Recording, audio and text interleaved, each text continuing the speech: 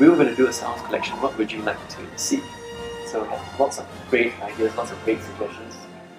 Right at the start, the hardcore fans really wanted us to make pewter lightsaber handles. Yeah. yeah, if you can All the imagine.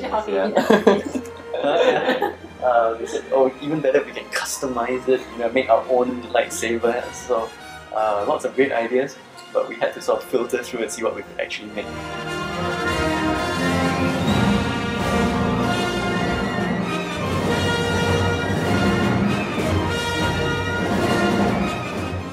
Initial versions of uh, Yoda, uh, face was a bit fierce, a bit evil, so we had to tone that down.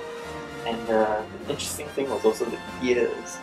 You know, the early sculpts of the ears were a bit too vertical, so almost elf-like, and we had to get it down to sort of that floppy, horizontal uh, shape and, and to capture that, that Yoda, Yoda-ness.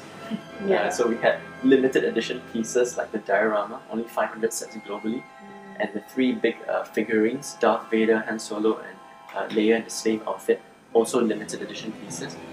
And then we thought, okay, we need to have things for the more casual fans, uh, become smaller pieces. Maybe they don't want it to be so in your face uh, that they're you know real Star Wars fans, so something more subtle.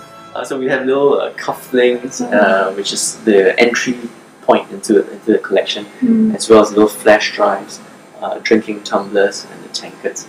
So just trying to create that breadth of offering for, for the, the huge number of Star Wars fans out hmm. there.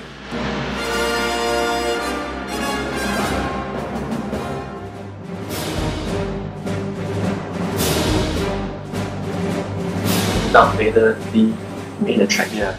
It is the most recognized, yeah, and uh, also a lot of work there.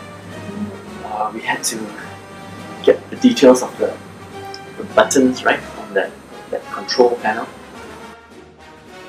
And the great thing is, you know, we weren't alone in doing. So Disney and Lucasfilm really helped us along the process. They gave us a lot of feedback, and they said that these are the things you need to get right to get it approved.